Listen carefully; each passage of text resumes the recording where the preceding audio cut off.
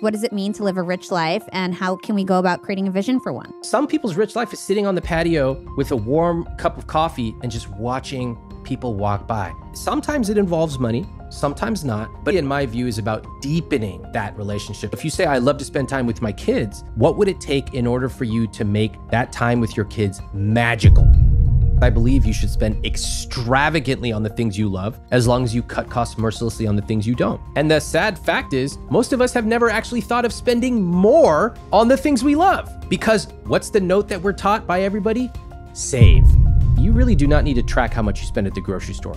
I actually only really track four numbers.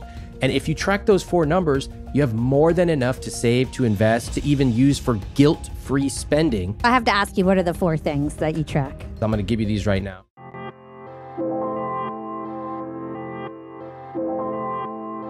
Welcome to Young and Profiting Podcast, Ramit. Thanks for having me. I am really excited. We've been wanting to have you on Young and Profiting podcast for a few years now. So, Young and Profiters, if you don't know Ramit Sethi, he is a New York Times bestselling author of the popular book I Will Teach You to Be Rich.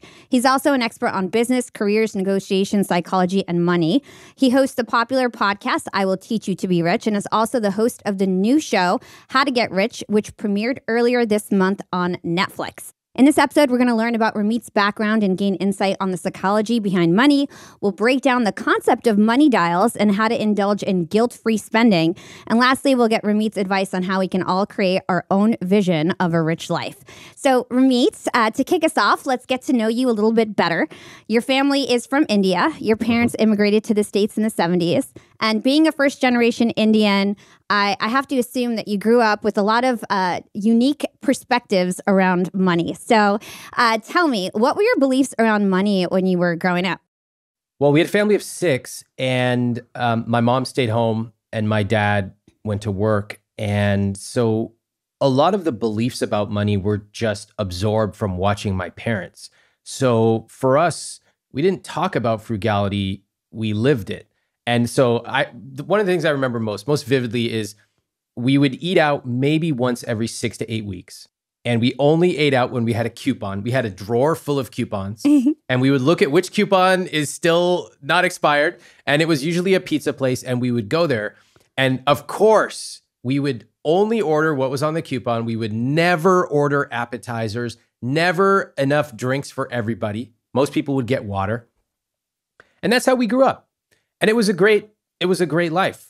Uh, but as I got older, I looked back and I realized, wow, I learned a lot of things. I learned that um, we were not wealthy, which is totally fine, but we were not poor.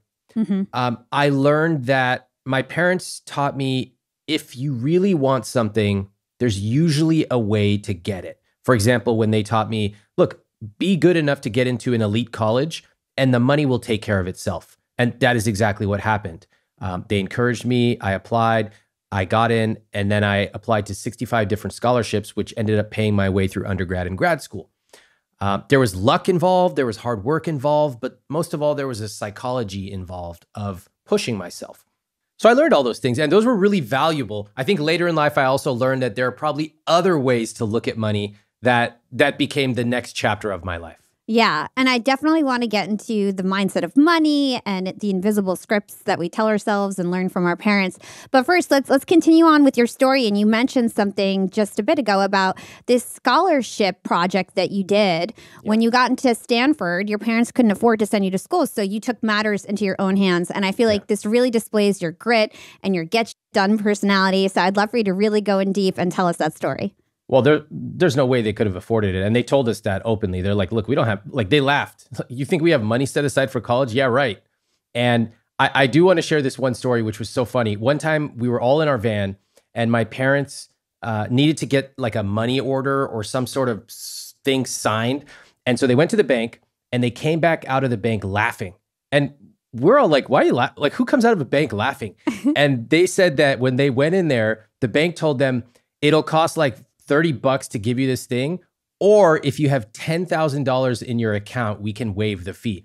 And they were laughing like, who has $10,000 in their account? It was laughable to them, right? It was like not even in the fathom of reality. So when it came to college, same thing applied. But my parents also taught me there's a way. There's lots of ways to get creative. They're really street smart. And so um, my mom and dad, it's unbelievable now that I think about it. They took me around to different career centers at different high schools. Like for everybody listening, did you even know where your career center was in your high school? No.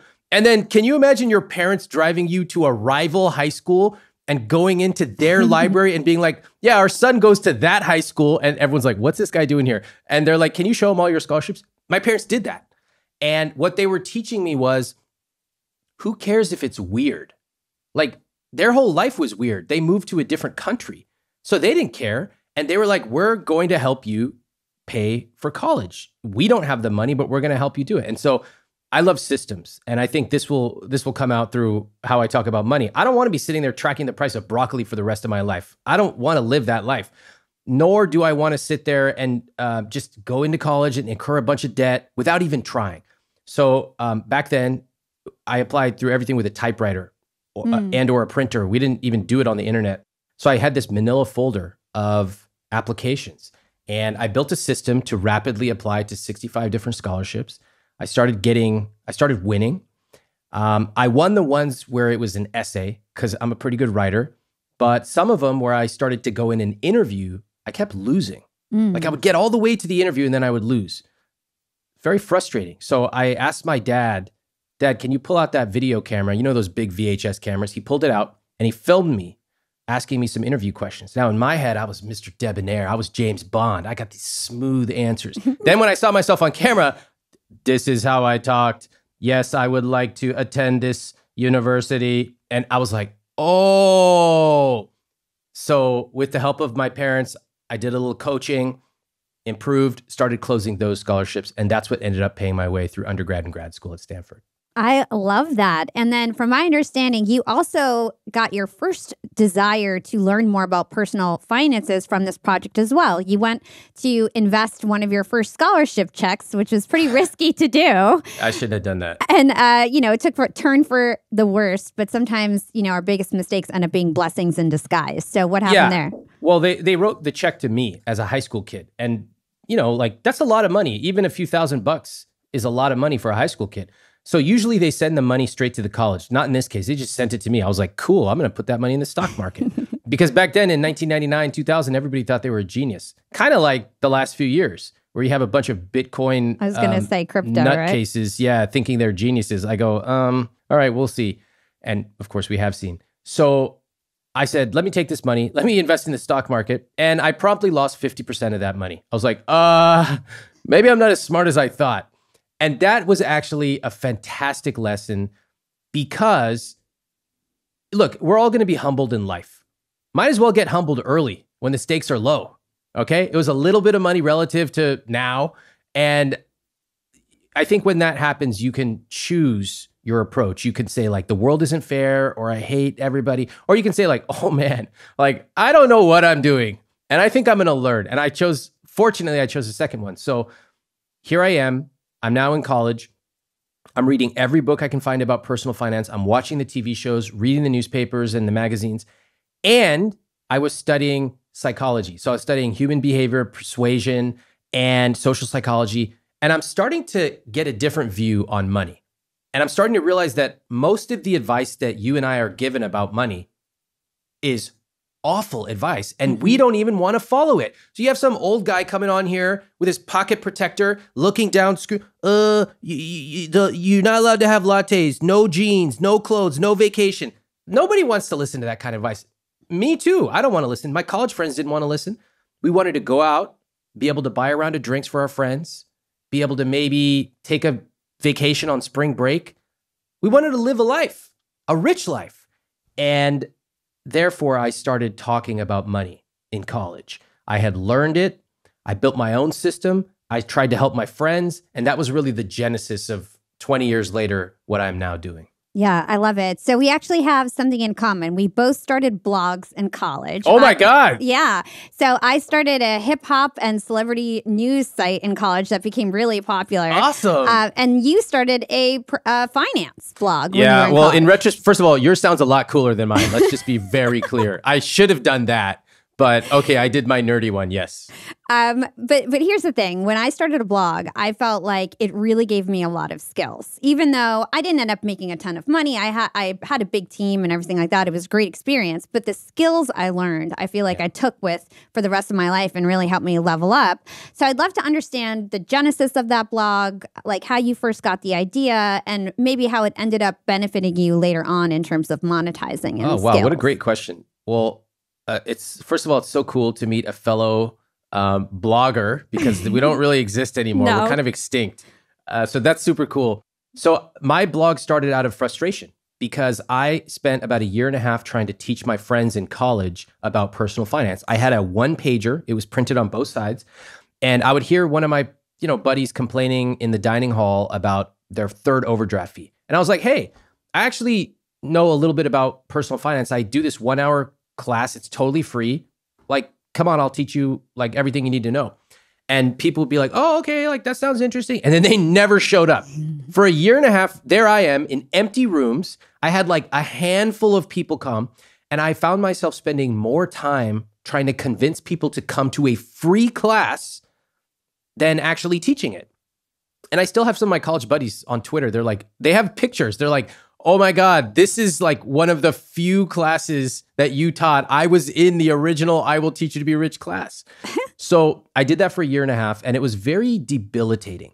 I think that um, every one of us, whether you're listening, watching, if you have an idea and you're like, the world needs to hear this, but the world doesn't seem to be listening, that's really a pivotal point for you to make a decision.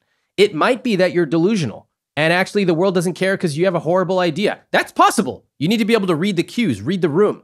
On the other hand, it might be that you have a really good idea, but you're not presenting it in a way that makes people care. Mm. And so here I was, this cocky college kid, and I was like, no, the world does need to hear this, but I'm obviously, this is not working. Like I'm beating my head against the wall. It's nobody's coming. So I said, you know what? I, I think college kids are lazy. And I also think they don't want to come to an event about money. I later learned why. People don't like to go to events about money because it makes them feel bad about themselves. Mm. And usually it's just somebody telling them all the things they've done wrong. Um, and so I said, all right, I'm going to write a blog. I like to write. I like to write like I talk, like here we are joking around.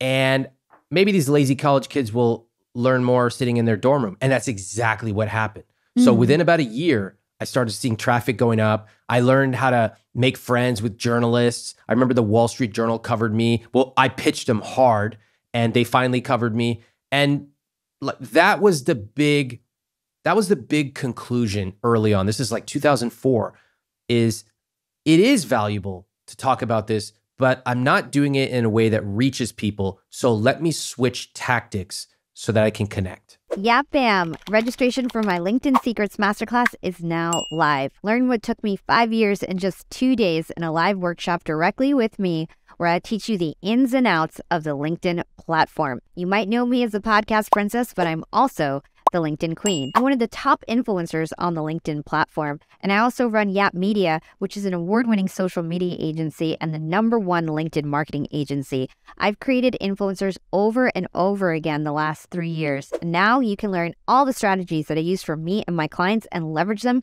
for yourself. In my LinkedIn Secrets Masterclass, I teach you how to develop a personal brand. This is a personal brand that you can take off LinkedIn as well. You actually leave with a voice guide that we do together in class, and I'll go over the psychology of design, copywriting hacks, the LinkedIn algorithm, engagement hacks, and how to convert your following into sales. Because at the end of the day, we all want ROI from what we're doing on LinkedIn. If your target audience is on LinkedIn, you need to take my LinkedIn Secrets Masterclass. So, whether you're a corporate professional who wants more job security, a solopreneur, freelancer, or entrepreneur who wants to grow their small business, you need to understand how to grow your following on LinkedIn and then how to convert that following into sales. Learn how I grew Yap Media to $5 million in revenue with zero paid ads, all from my organic content on LinkedIn.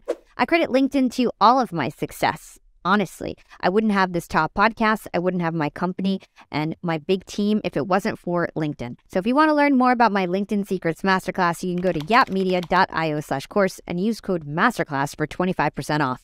Again, that's yapmedia.io slash course and use code Masterclass for 25% off.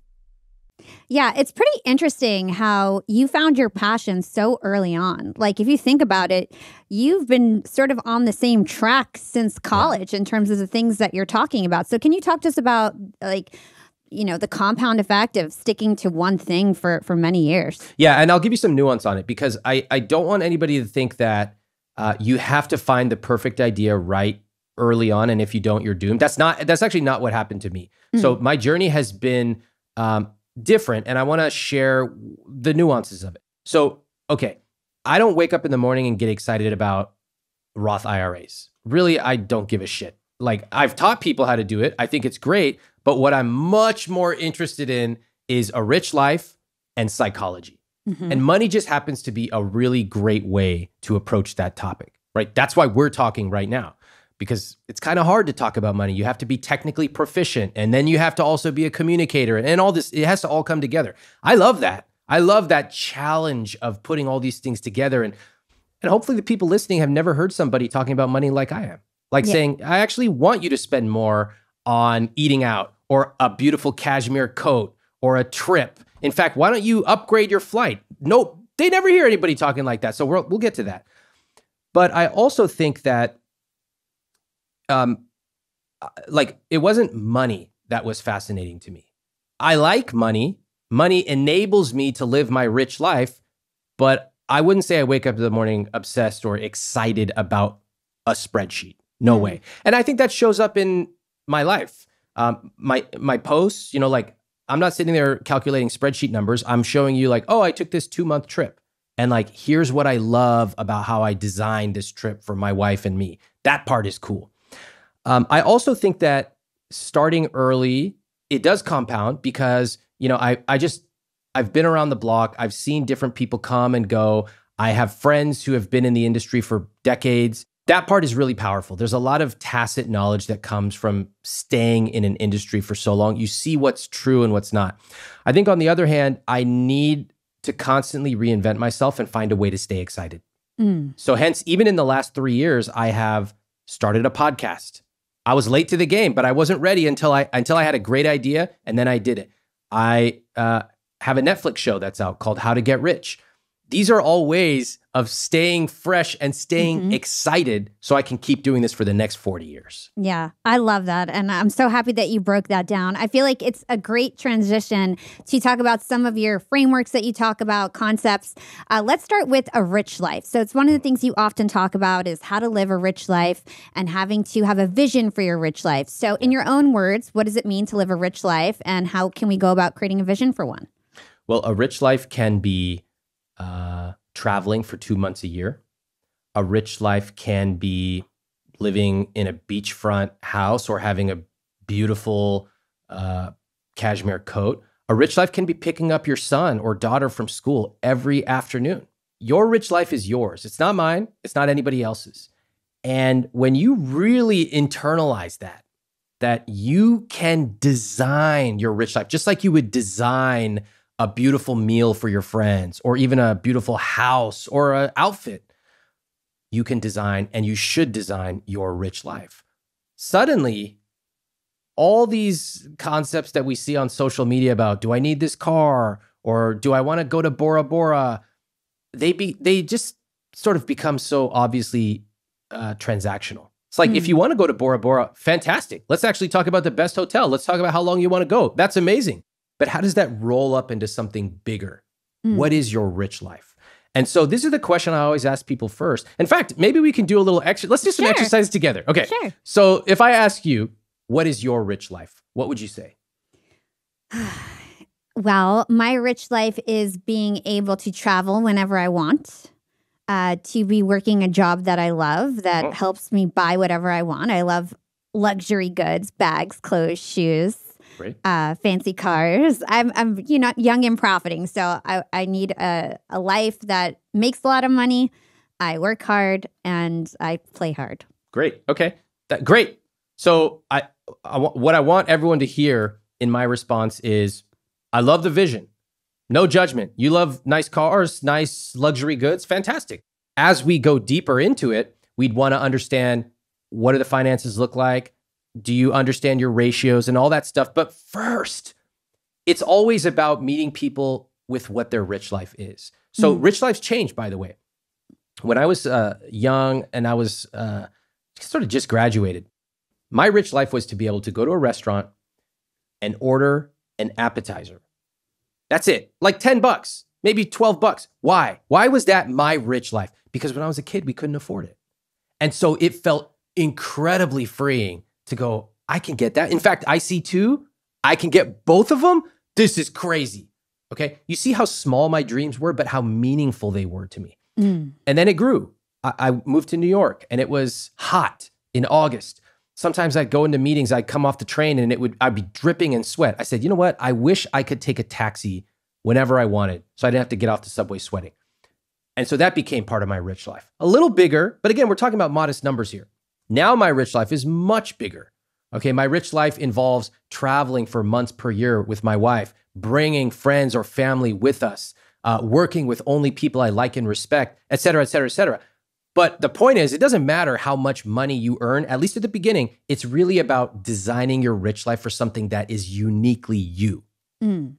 And I love the fact that you're saying that it evolves over time. At one point, you know, your big ambitious goals for your rich life, you know, looking back, you're like, well, I can't believe that this was my goal, but you keep growing over time and you keep kind of pushing out your marker in terms of where you want to go in terms of your rich life. Yeah. And remember, anyone listening to this who's in their 40s, 50s, or 60s, you will also intuitively know that it doesn't always go up in terms of spend. Like Mm. your some people's rich life is sitting on the patio with a warm cup of coffee and just watching people walk by.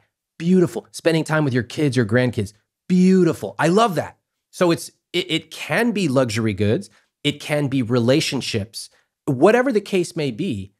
Sometimes it involves money, sometimes not, but it really in my view is about deepening that relationship. So if you say I love to spend time with my kids, I say fantastic. What would it take in order for you to make that time with your kids magical? Mm. Not just ordinary, but magical. And that is when we really start to explore not just a life, but a rich life. Mm, I love that. I think that's a really great point. So let's talk about psychology. So one of the reasons why I love having you on Ramit is because at Young and Profiting Podcast, our two favorite topics are money and psychology. This is what Oh we talk God. about This all is the my time. home. Yeah, so it really is your home. Like you fit right in. Um, you always say that a central topic of yours is that money isn't just about math, it's about psychology. You can give us all the information and knowledge about credit and debt, but until we master our money psychology, nothing really makes a difference. So you've got this classic book. I will teach you to be rich. And you talk about invisible money scripts. And that was originally coined by Dr. Brad Klontz. And uh, invisible money scripts are unconscious, transgenerational beliefs about money that are developed in your childhood. You mentioned some of those beliefs that you had as a child growing up earlier in the show. Uh, but I know that you have this awesome podcast where you essentially bring on couples, you and you you start to unpack their problems around money. And a lot of these couples have invisible scripts. So can you tell us some of the common things that people believe around money and how that can negatively impact ourselves and the way that we approach life, as well as our uh, partners and spouses and, and our lives together? One of the easiest ways to discover your invisible scripts is to answer this question What do you remember your family saying about money when you were a kid? Hmm. Does anything come to mind for you? Yeah, my dad actually, so also Arab American immigrant. He was a surgeon. He made a lot of money when he came to America, and then he felt like everything was free because he was he was so he was so not used to making money that he was very generous and sort of just always gave his money away. So I have a very like I'm not cheap because my dad was like really not cheap. Um, Wow. so And what would he say? Do you remember a phrase he said? He would just say that's free. If something was a Wow. hu- hundred bucks, Okay. if, if something free. was if that if something was a hundred bucks, he'd be like, "Oh, that's free, Baba," and like he would. Mhm. And so, like for me, every, uh, nothing is expensive. Oh, that's cheap. You know what I mean? So Okay. very different, I think, for most people growing up. But I think yeah. so, but it, you can already see the connection between you know your love of luxury goods, etc., and trace it back all the way to your family. Um, good or bad, it just is. And I think a lot of us are startled by the idea that the decisions we are making right now in our 30s or 40s or 50s can actually be traced directly back often to some some phrase our parents said around the dinner table. Here's some examples. Um, we can't afford it. Now imagine hearing that 10,000 times as a child and adolescent. And maybe you really couldn't afford it. Maybe, maybe not. Most people don't even know what they actually can afford, but it's just a phrase we reflexively say. Now imagine you come on my podcast, because this has happened many times, and you're now earning $350,000 a year. And your partner says, like, we've saved all this money. We've been frugal. Like, can we finally enjoy ourselves? Can we finally put some grass in the front yard? It has dirt. And you have all these logical reasons why, well, we got to save and we got to increase our savings rate by 1%. But deep down, it's your mom or your dad repeating in your ear, we can't afford it. Mm. Okay. So that's one of the most common things that happens. We can't afford it. Um, we don't talk about money in this family is another common phrase that then translates into invisible scripts. Money's not to be talked about. It's shameful. We keep it secret. We don't learn about it, etc. Uh, that's for rich people, aka we are good people, but those rich assholes, we don't need to be like them. We don't mm. need to indulge in a fancy restaurant because we're simple and we don't need all that show off stuff. That, that's one that I think a lot of immigrant families learn. I certainly absorbed that one. Yeah. So those are some invisible scripts about money, but we should also remember like they're positive invisible scripts. Um, my parents taught me that money's usually not the primary thing. Like if you work really hard and you're smart, you can usually find a way to crack the money code. Wow, that's a really powerful invisible script. I later found out uh, when I was in my 20s, I asked my parents about how they raised us and we had a we played a lot of sports. And it's, it's expensive, right, to have kids in sports at multiple kids at one time. And I, I found out in my twenties that my mom had called up the local uh, soccer league, and she was like, "Look, I can't afford like all these fees. I have too many kids in soccer." And they said, "Okay, if you come early on Saturday morning and chalk the field, meaning put the chalk on the field, we'll waive those fees." So little did I know that my mom was going early to chalk the field Aww. in the early morning to a soccer field so that we could play soccer. We didn't even know that. Talk about learning an invisible script.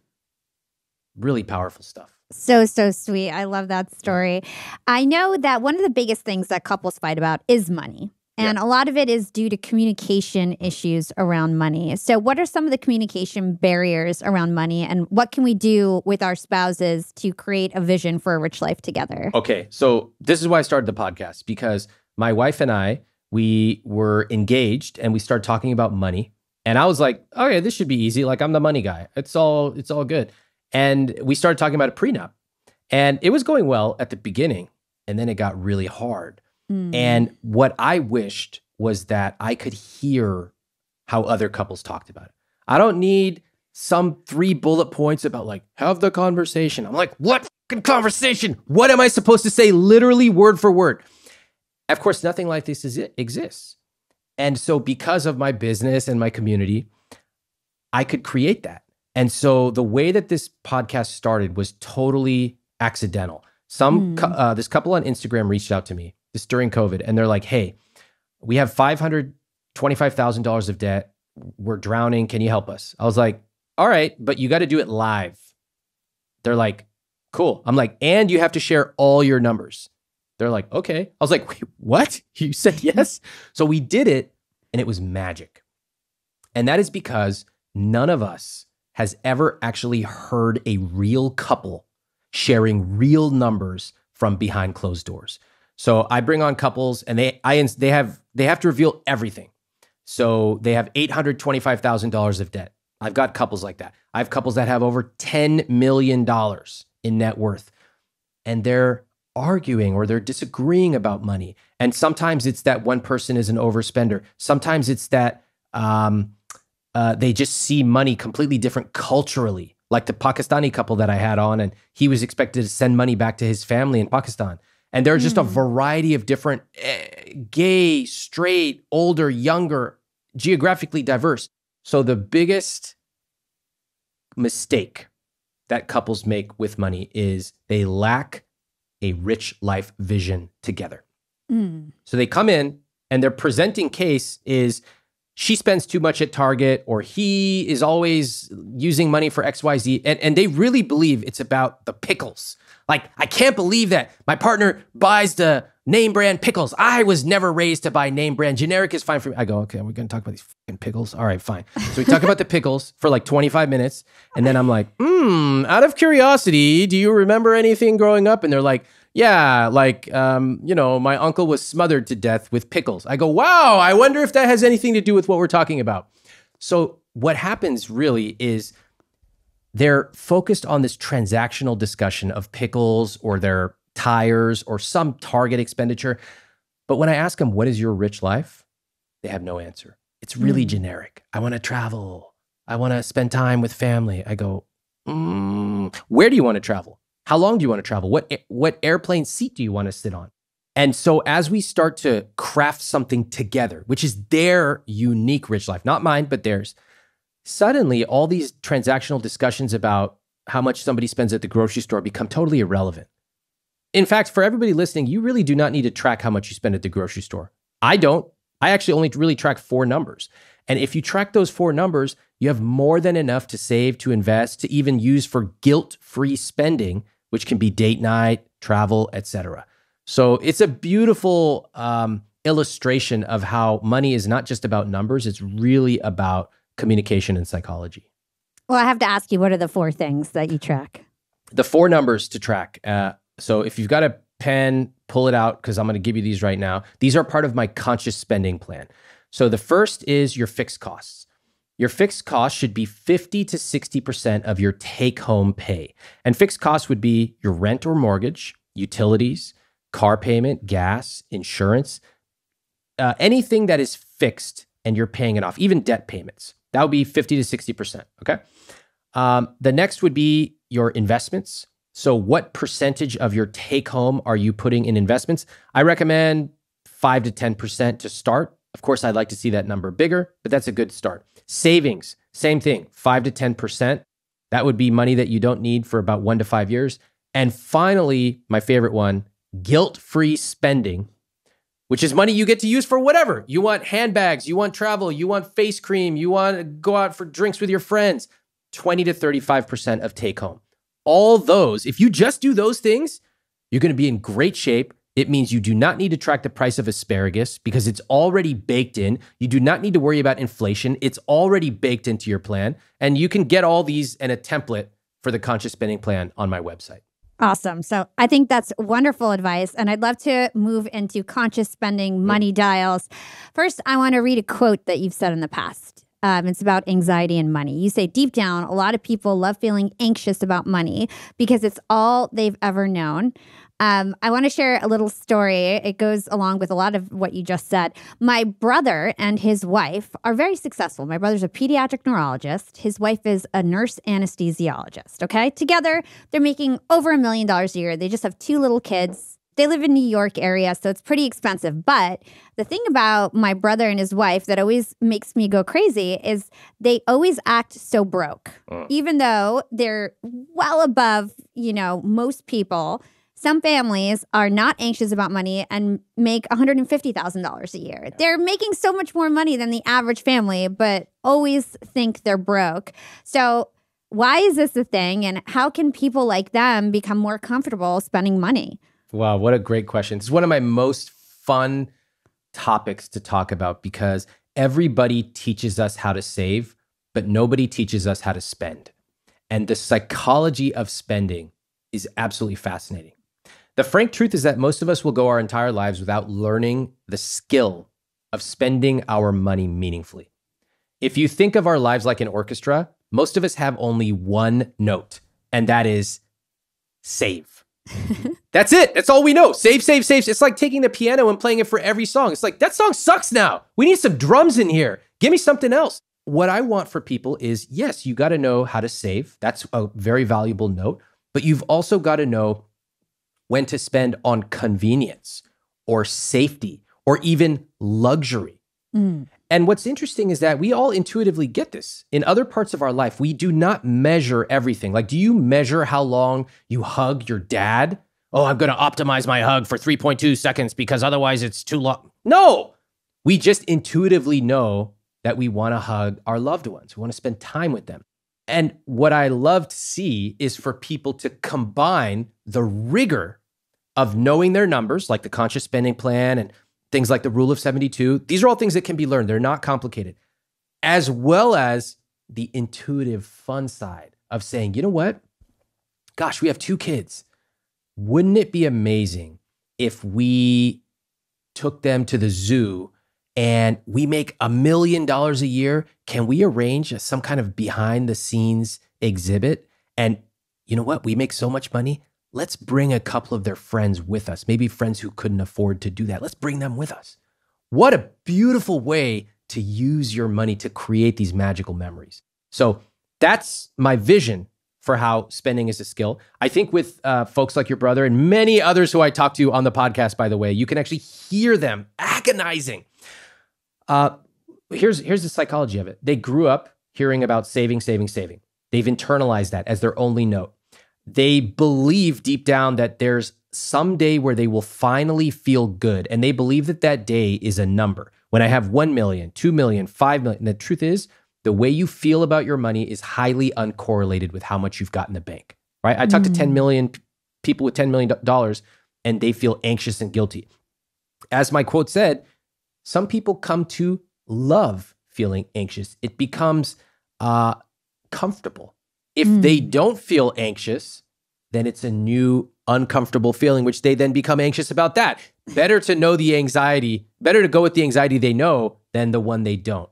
And so um, it's possible to change. And the way that I do that is really by going deep into what they love and encouraging them that if you spend a little bit more, it's not going to destroy your life. And uh, of course, I show them the math, but the math is irrelevant. It's a feeling.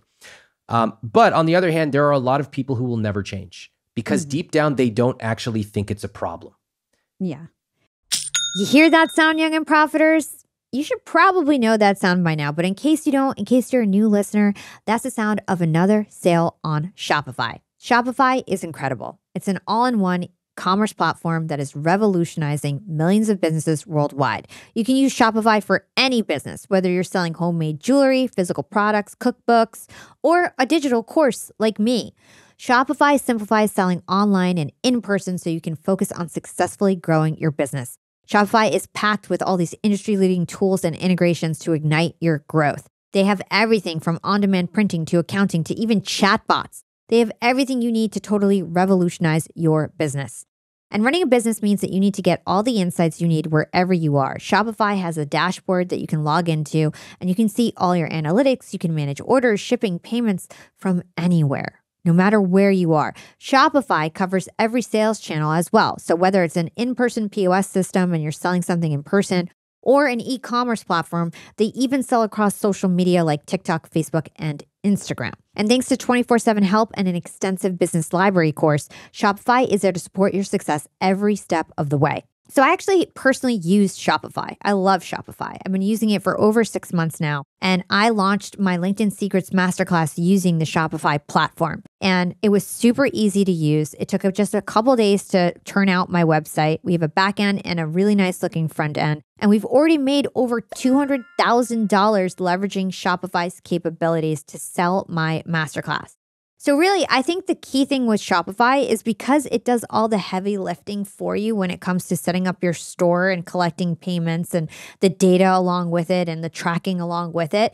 It really enables you to focus on the things that matter like your product, making sure your product is the best it can be. For me, it's my course. I really had time to just focus on my course. It also enables me to focus on the marketing and make sure that I'm driving leads to my Shopify page. So Shopify lets me focus on what I'm good at, and Shopify does what it's good at. And damn, Shopify is really good at what it does. Shopify and logging onto Shopify is always the highlight of my day. I'm really not lying when I say this. I mean it 100%. I'm addicted to going onto the Shopify platform because it's just so much fun. It's really easy to use. I can go in there. They have got like a chat bot. I can answer any messages if somebody chatted us. I can go see who signed up, how many orders I got. I can go see our conversion rates, how we're doing. I can see where the leads are coming from and what marketing channels need more help. I can also see a global view of where everybody is logged in from, like all the potential customers, where they're logging in from, what part of the world, what stage of the buying journey they're in. And I can actually see when people are about to check out It is such a dopamine rush to see like four or five people checking out at one time. And Shopify is so cool because if people don't end up closing out and not purchasing and they just abandon their cart, Shopify will actually notify you and suggest that you send an abandoned cart email. Shopify gives you all these little tools and tricks to close more sales, and they're really by your side. I love Shopify. If you want to start your small business, if you want to start that side hustle, this is your sign. It is your turn to get serious about selling and try Shopify today. This is Possibility powered by Shopify. Sign up for a $1 per month trial period at shopify.com slash profiting. Again, go to shopify.com slash profiting. And by the way, that's all lowercase. Profiting is all lowercase to take your business to the next level today. Again, that's shopify.com slash profiting. Let's move on to money dials because I think it fits right into this. So, with money dials, you've said in the past, show me a person's spending and I'll show you what they love. So, fit people spend time uh, to be fit, they spend money on the gym. Fashionable people, they spend time on shopping and clothes. So, tell us about money dials and some of the common money dials out there. Okay. Should we just do it for you? Let's just do the exercise together so everyone Yeah, see yeah. it. All right. So, let me explain what a money dial is. A money dial is something that you love to spend money on, not just like, but love. So if I were to ask you, what do you love to spend money on? What would you say? Bags. Ba- Beautiful. Okay, great. So you love bags. I love it. And if you, so for everybody listening, eh, think about what your money dial is. Um, the answer we just got is kind of unusual, but I love how quick you were. You've clearly thought about it. The most common money dial, the most common area people love to spend on is eating out. Number two is travel. Number three is health and wellness. Number four is convenience. And there's a hmm. variety of other ones if you just search for money dials. So you said bags, fantastic. Here's my second question for you. If you were to quadruple the amount you spent on bags, what would it look and feel like? If I would quadruple the amount of money I spent on bags, I would look really fly. I would feel really powerful and accomplished. Mhm, mhm. Would you buy the same type of bag you have now, just four of them? What would no, you be I'd getting? probably, I'd probably, honestly, I don't know if I would buy such an. Exp- there might be a threshold to Hmm. how much I would spend on a bag, but I'm guessing I would buy more expensive bags. okay, more expensive bags. What else? Turn that dial up. Let's go to 5X, 6X, 7X. Um, maybe I would have a custom bag. Okay. What else? I'm not sure. I maybe I'd move. I mean, I love designer shoes. I, I don't know if I would keep spending it just on bags, but just in general, I'd probably be leveling up all my stuff to be, you know, designer ready to wear or whatever. Love it. All right. So let me explain what's going on here. So I call a money dial a money dial because just like a radio dial, you can turn it up. I always want to understand what do you love to spend money on? And then I want to understand what would it look like if you could actually spend more? Why? Because I believe you should spend extravagantly on the things you love as long as you cut costs mercilessly on the things you don't.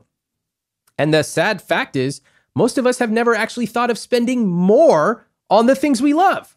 Because what's the note that we're taught by everybody? Save. And so we do it so poorly. We save, we go, uh, I should probably save. And I go, why should you save? They go, uh, you just should, right? I go, this sucks. So they go, I tried to save 5% on um, beans. I tried to save 5% on parking tickets. I tried to save, I go, this is so ineffective. Why don't you take the area you love and spend more? And then once you know what you what your vision is and you're excited and motivated by it, then suddenly it becomes much easier to look at your expenses and cut back on the stuff that's not serving it. So if I were to come to you and we were to really work together and I were to say, okay, look, you want to buy this, I don't know, Birkin bag. And uh, okay, and you go, oh my God, yeah. I go, okay, let's not just say Birkin. Show me the color, show me the style, show me the website where it's currently for sale right now. And you're like, oh my God, no money guys ever talked about this. So we're sitting there, we're going, and you're getting excited. And I'm like, look, this is a reality. It might take longer than you think, but we can model it all out. And you're like, oh my God, this could be mine. Because again, it drives you. Then I go, okay, now let's look at your expenses. If you want to get that Birkin bag, this is what we need to make some changes. What would you do? And suddenly people are totally amenable to it. I also want to point out one more thing. Most people are very linear in their thinking. When I ask them, uh, you like to eat out, what would you do if you could quadruple your spend? And one guy goes, uh, I'd probably have to go on a diet because I'd be eating out four times a week. Ha ha ha. And I go, ha ha ha. That's not actually funny. I go, when you turn your money dial up, it's not just linear. It doesn't just mean more bags or more eating out. Think multidimensionally. For example, maybe, as in his case, he had a list of every Michelin starred restaurant in his Mm. city, DC. And I go, Who would you take with you? He goes, I'd take my family because they can never afford to eat there. I go, That's beautiful. Maybe, like the young woman in Pasadena who loves fashion, she wouldn't just shop at H&M. She would, if she turned it way up, she would take her mom to Italy and they would go on a shopping trip and get something custom made just for the two of them. Mm. Okay. The vision can get as big as you want. The point is, you've got to have something you are working for, something inspirational, aspirational. Otherwise, life is just a series of episodic transactional decisions and there is no inspiration whatsoever. Totally. I, I want to talk about how society actually demonizes Yeah. spending and shopping, especially for somebody like me who likes Oh, yeah. luxury. I love that you say it too. I'm sorry to cut you off. I just love Yeah. that you're so open about it. It's actually so refreshing to me. And I think clothes in particular get demonized as Yeah. stupid and frivolous. And personally, and I think part there's many reasons for that. Part of it is that historically, things that women have been interested in tend to be trivialized. And mm-hmm. I'm fighting against that. I love clothes. I love that you love clothes. And I think that if your thing is handbags, like you saw my reaction, I'm like, fantastic. That's your thing. That's your money dial. Let's figure it out. Exactly, because everybody has their thing. But let me let me tell you a story. So on the my mom was really cheap. My dad was really generous, right? So my mom grew up getting like two new sweaters a year, you know, and for her, my obsession with clothes is something that she's always struggled with. Even now, you know, I'm a successful entrepreneur, multi-million dollar company. I make money off my photo shoots, dressing nice. I'm an influencer on LinkedIn. I always have to have new clothes, and it's part of my personality, my business. But she's constantly giving me, even now, like if she comes over my apartment, I'm like hiding my bag, like hiding my stuff. I have to give her the parent price for everything. You know, oh, these jeans, they were like 40 bucks. I got them on sale. so you don't, yeah, exactly. so it's like parent price for everything. And so, what should we do about people who shame us for the things that we buy? How should we treat those people? Well, I, I know exactly what you are referring to, and I'll share what I've done, my model. So I remember when I first started to try to dress a little better. And whenever we're trying something new, it could be dressing better, it could be going to a gym for the first time, or anything new, we are insecure. I was. You know, here I am wearing these pants that I've never worn before, and they're a little different style. And and it's at that moment where if somebody says something mean to you, it can be crushing. And it can actually change the trajectory of your life forever. And and I actually remember wearing something new and and my friends being like, "What are you going to an interview?" You know, and and I, it actually really hurt in retrospect. I didn't have the words for it at the time, but deep down, I knew that I I wanted to get to be a better dresser, and I looked around at the folks. I was in Silicon Valley at the time, and I'm like, "Why am I even listening to you?" Like you're wearing an extra large shirt from Cisco. What the? Hell? Why am I even taking advice from you? So that my approach was simply to say like, "Hey, like, cool, but I'm not. Li- I'm not listening to this person. Like, they're the last person I take fashion advice from." I think that um, as I have become more comfortable with my rich life, and as I have refined it, refined it, it's actually become absolutely bewildering to other people, and that's exactly how it should be. So people are shocked. I'll give you an example. I have a sweater that costs more than my car. People Wow. go, "What the f- are you talking about?" That's insane. That's exactly as it should be. I have a reader of mine who is living his rich life. He used my material. He and his wife retired in their 30s. They drive around the country in an RV. Okay, that's my personal hell. Okay, I don't want to get in an RV, right? Do you? No. Okay. So I'm like, mm, but I love that that's their rich life and they are living it. The more you turn those dials uniquely to fit your life like a handmade glove, the more that the rest of the world will not understand you. And at a certain point where you are comfortable with your clothes or your bags or your decisions on where to go to eat, you go, I actually love it because It's okay that they don't understand. I'm not going to judge them. They living their own life, but this is my life, my rich life, and I feel great about it. Mm. So I want to talk about some of the unobvious categories that you have for money dials. So I'm going to list off a couple of them. Convenience, travel, health and fitness, experiences, freedom, relationships, generosity, luxury, social status, and self-improvement. There's probably more, yeah. but two of them I think are really interesting. Convenience yeah. and social status. Okay. So I'd love for you to explain how those two can actually be money dials. Well, convenience is my money dial and um, I love my life to be convenient. Okay, now I'm going to tell you about my life, and you're going to think I'm a serial killer, and I don't care because this is my rich life. So when I wake up in the morning, I want to know that um, my coffee, which is my favorite coffee, is in exactly the right place. I want to open up the fridge. Everything is perfectly organized and ready to go.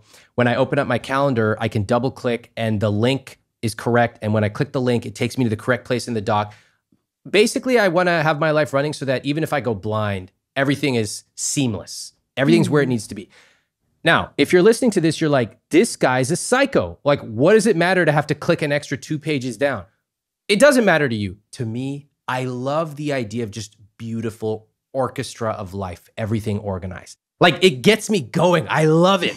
and so, if I can use money to do that, then I'm going to use money. So, that means having an amazing personal assistant that means having all my stuff automated so I spend less than one hour per month on my finances. Mm. It means setting up SOPs, standard operating procedures. So, for example, when I fly, um, my assistant knows exactly what seat, what airline, like there's no questions. It just runs. Mm. And um, I love that. And so I'm, I'm like, a money dial is one of those things where you're constantly looking for new stuff and reading magazines and like incorporate. That's my money dial. So that's convenience. Social status is a really interesting one. Zero people admit to social status. Zero. It's the least popular money dial. Ironically, I believe it's the one that people spend the most money on.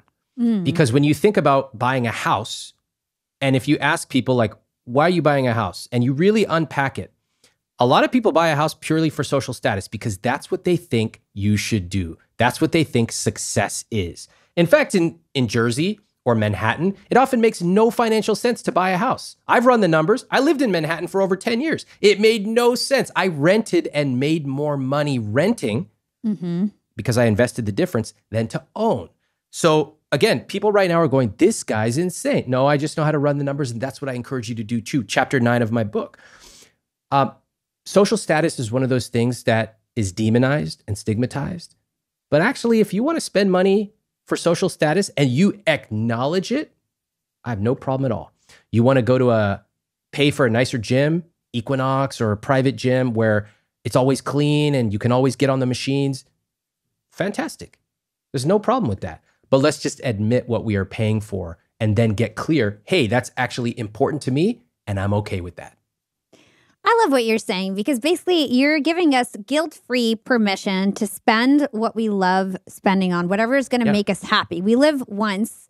What's the point of taking all that money to the grave or spending it on things that we personally don't care about and just like what we've been told to care about yeah. historically? And now, uh, of course, I want to remind everybody you have to be able to afford it. Absolutely. Yeah. That is critical. So you can't just like twirl around three times and be like, rich life, rich life, and then go buy a private jet. You, you need to be able to afford it. Same thing with buying a house. You know how many people I talk to buy a house just because they think they should, but they can't actually afford it because they don't measure TCO? That's a problem. But I do agree that when you really know what you love, life becomes quite rich for you. So that is why when you look at my spending, it's very heavy in certain areas. Travel, convenience, fitness makes perfect sense for me, but it's really light in other areas, like my mm. car, and things that I'm just like not interested in. Um, in fact, as a good example, my wife and I, we once had sushi in the city at this really nice place, and it was mind blowing. It was amazing. The presentation, the food, all of it. That was for our anniversary. And we kind of looked at each other after and we're like, wow, we would love to do this more. And also, why are we going to sushi like once every month or two, just like cheap sushi, which isn't even satisfying? We'd rather not do that and then do this once a year. So mm-hmm. that's the kind of decisions that you may start to make. Or you may go, look, I don't need all this fancy stuff. I would rather have sushi once every month. Also cool. But I want you to make those decisions for yourself. Yeah, and and to your point, it's all about balance. You can spend extravagantly on your money dials and then pull back on the things that you don't care about. Yep. And so it's all about balance and what you can afford, like you said. So one more question on spending. You've got spending frameworks. An interesting framework that you have is your book buying rule. Oh, yeah. So when you're thinking about buying a book, you just automatically buying it. So what is book buying? Uh, why is that such an essential spend for you? And uh, how does that sort of turn the rule of uh, logic in terms of how to spend on its head? Well, I have a, I call it Ramit's book buying rule. And the rule is simple. If I see a book that I'm even remotely interested in for five seconds, I just buy it. I don't question it. I don't bother checking the review. I just buy it. Why? Because I know that to be able to get an author's life work for 10 or 15 bucks is the best deal you can ever get. And if I can just get one thing from it, it could change my life. So my belief with money is we should stop asking $3 questions and start asking $30,000 questions. Mm-hmm. A $3 question is, "Oh, should I buy this book?" and like, "Let me open up 20 different tabs." And like, just get the book. If you want the book, get the book. That's a $3 question. Same thing with should I switch banks to get an extra 0.01% or should I get the extra extra large Coke? It's like that's a $3 question. You don't need to be asking that. But we ignore the $30,000 and $300,000 questions. What's my savings rate? What's my investment rate? Uh, what's my expense ratio and asset allocation? Like most people don't even know what these terms are. And so we're sitting here fighting over the scraps of cheesecake and forgetting that you're actually paying 28% of your returns to a financial advisor whose fees are 1% and you don't even understand that fee structure. I want people to stop agonizing over $3 questions and start asking $30,000 questions. Yeah, I love that. And, you know, anybody who listens to this podcast, we're all trying to be young and profiting. We're all trying to build our wealth.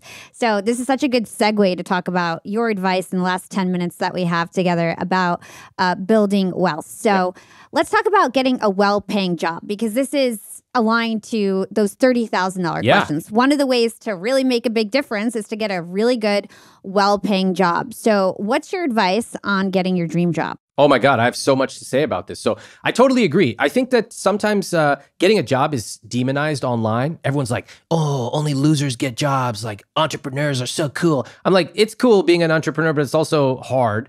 And a lot of people want to work at an amazing job where they're respected and challenged and they can contribute more together than they could alone and they're paid well. So, you know, I have an entire course called Find Your Dream Job. There's a couple things that I would suggest that to extract from that course. Number one, finding a job is a skill. Okay, it's a skill. It's not uh, just like throwing your resume out there. In fact, that's what everyone else does. Like, you don't want to be a loser candidate who just posts their resume and waits. That's how people who get bad jobs get jobs.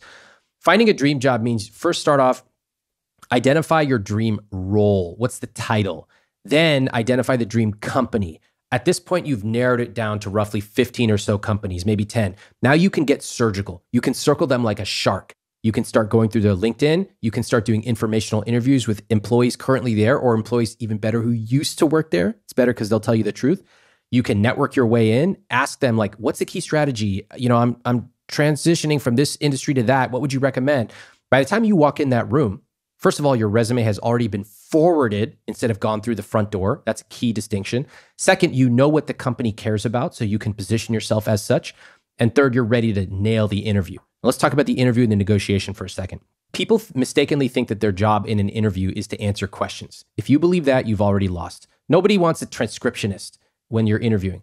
Your job is to deliver your key messages. So if they say, Why are you interested in this role? You better have a crisp answer. That's a layup. You better be able to nail that. And you should be able to do it in about 15 seconds. If they ask you, Tell me about your last position, you better nail that. And you're not just answering that. Oh, well, I walked in the door and I unlocked the door and then I sit down at my desk. Nobody cares. Tell them your key messages. Well, there's three reasons that I'm really interested in this role. First, I've always demonstrated an interest in psychology and money. And that's why at my last company, I helped improve conversion rates by 16%. Looking at this company, one of the things that most interests me is blank, blank, blank. You better have those answers ready to go. I show you how to do that stuff in the course. And then finally, of course, you can negotiate your salary. That's a skill. And please, please, please do not say, Ramit, how are you going to negotiate in an economy like this? People have been saying that for the last 15 years. The economy is actually fantastic. Unemployment is unbelievably low. And so maybe the same people who constantly talk about this economy when things are good, bad, or in the middle are actually just talking about themselves. Mm. You can learn the skills of finding a dream job and interviewing and negotiating, and you can land that dream job, which will pay you well and potentially change the trajectory of your life. Mm-hmm, totally.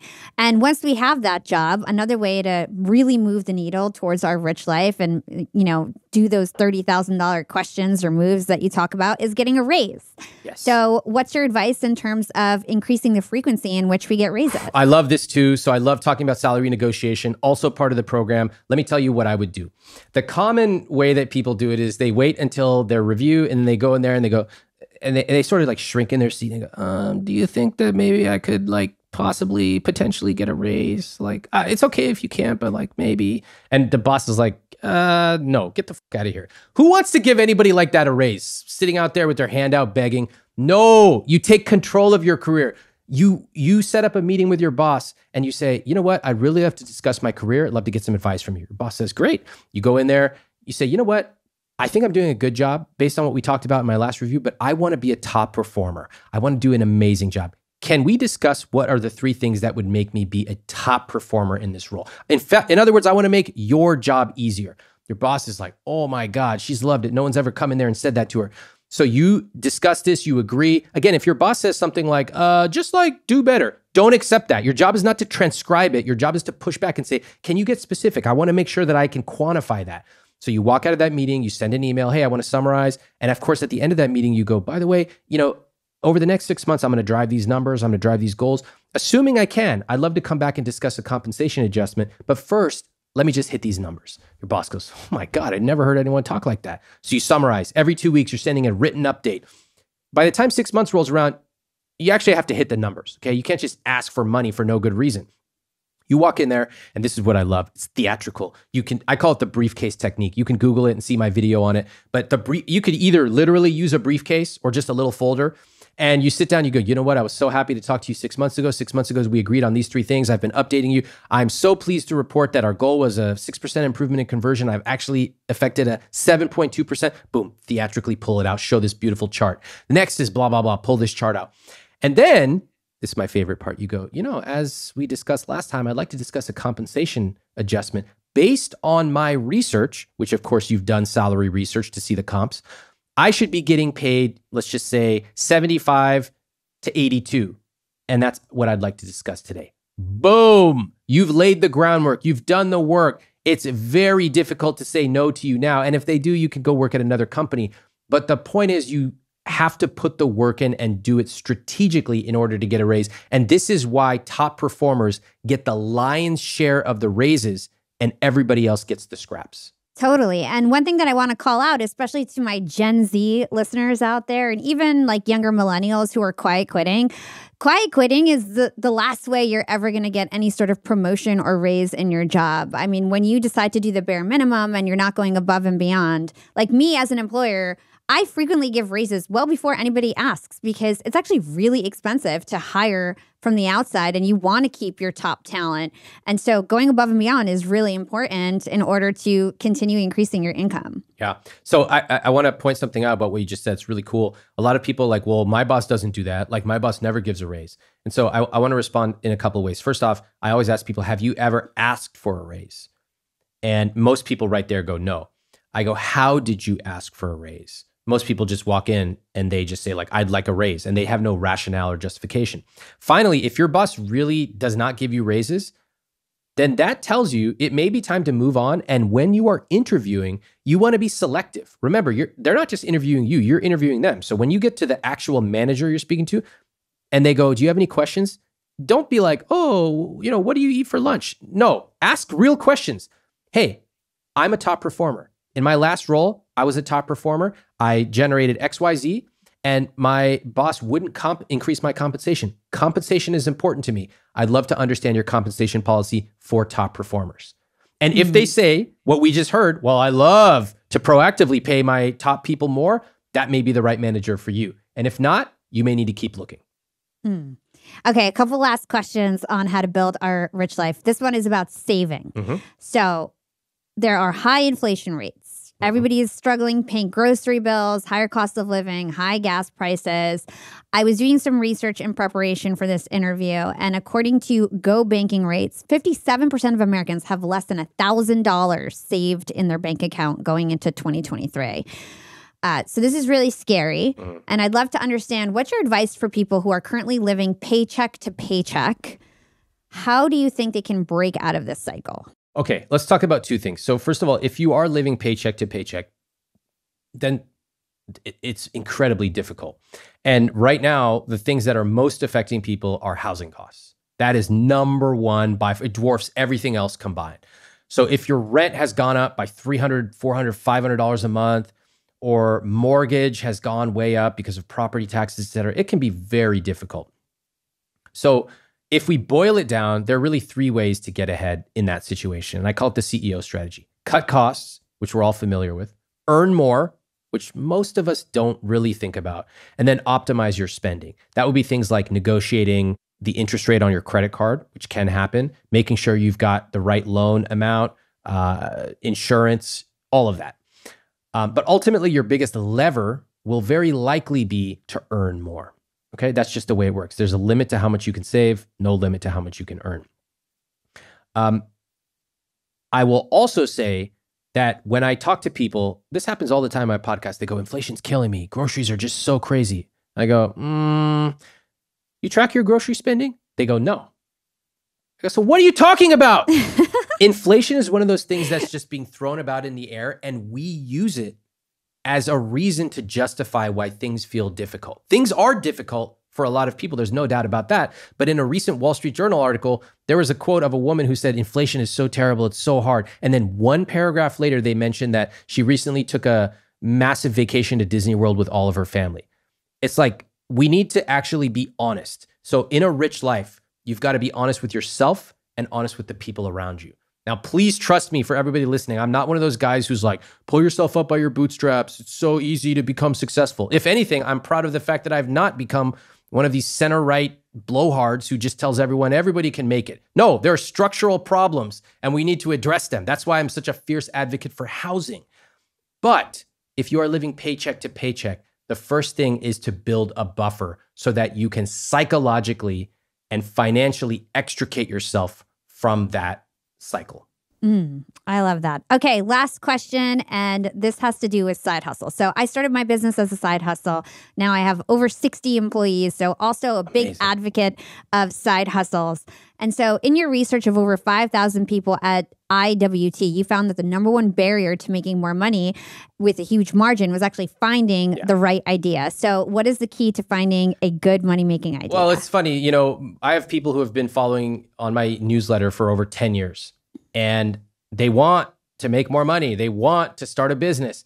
And the number one barrier by far is finding an idea. And my response to that is 10 years is way too long to be sitting around waiting. It's like they open their mouth to the sky. Ah, where's my idea? Ah, that's not how it works. Ideas don't fall down from the sky. You got to go out and find them.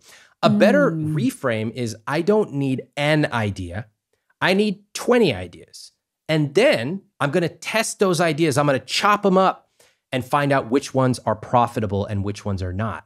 So many people are holding themselves back waiting for the perfect idea. And I say waiting because they're just like subscribed to a bunch of people on social and newsletters just waiting. That's not how it works. There's a process which you can do in a couple of days. I teach this in my earnable program. And you can find 20 ideas and then you can rapidly test them for profitability. Hmm. Basically, don't let that excuse get in the way. It should not take you more than approximately six months to find an idea and be generating revenue from that idea.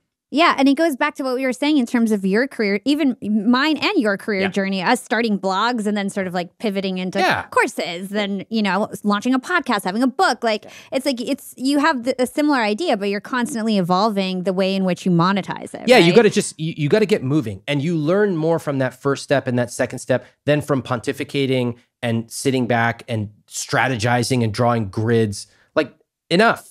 There's there's yes, we should learn absolutely, but let's get in the game, and we're gonna learn a lot more doing it. Yeah. Ramit, this has been such an incredible interview. I always end my interview asking two questions that I ask all my guests that come on the show. Um, you've been so insightful, so I appreciate your time. Uh, the first question is What is one actionable thing our young and profiters can do today to become more profiting tomorrow?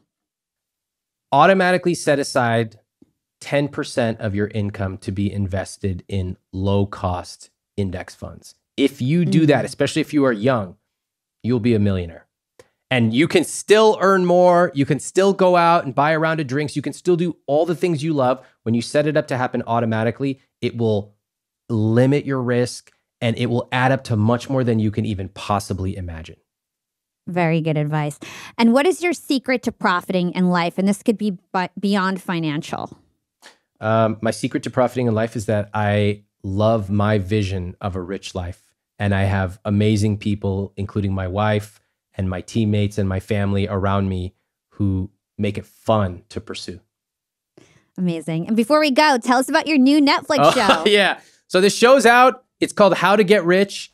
Oh, I'm so I think the magic behind the show is that all I knew about these couples and individuals was their name and I had their financials. That's all I knew. And I then traveled around the country to meet them like a detective, you're going to come along with me and we try to figure out what's the problem, what's really going on, and can we actually help them? And money's money. You know, it's complicated, it's emotional. It's not sitting around a spreadsheet, it's actually dealing with people's real rich lives. And so, you know, a money show has not been done on a network in decades. So I'm very excited and I want everybody to go and check out How to Get Rich on Netflix. Amazing. I'm sure it's going to be incredible. You're so charismatic, so smart. I can't wait to watch it myself.